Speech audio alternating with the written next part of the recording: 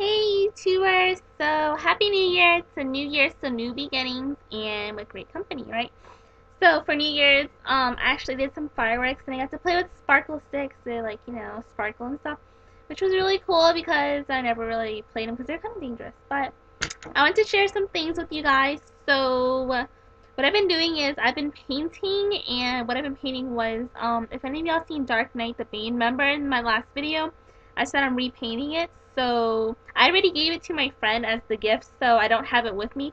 But I did take pictures of me painting it like every hour, like um, every hour I spent painting it, I took a picture, so you guys can see like the process of how I shaded and stuff like that. But I want to share some other stuff like this. My best friend gave this to me, and what it is, it's like um a cute measure tape. So look how cute. So this thing right here, you pull it, and see, you can measure. Can you see it? Yeah, you can basically measure stuff, whatever. So it does that, and then to retract it, you press right here. So you go, and there it goes. So you pull it. See, cute, huh? So, and then um, for my friend that I painted the painting for, he actually drew me something. So this is what he drew for me, he sketched it. And it's so thoughtful because no one ever drew anything for me. So he got me this stuffed animal. Cute. An elf. Hello. So cute.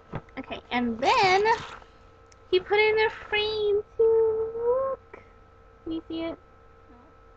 Yeah, so this is basically it. And it's like Totoro, Snorlax, and I believe it's Rainicorn is the Pokemon, and the little bunny right here, um, right here, and it's so cute, so I really love it, and I'll definitely hang it, because I don't have anything that everyone's ever drawn for me, because no one ever drew anything for me, so it's really cute, and I love it.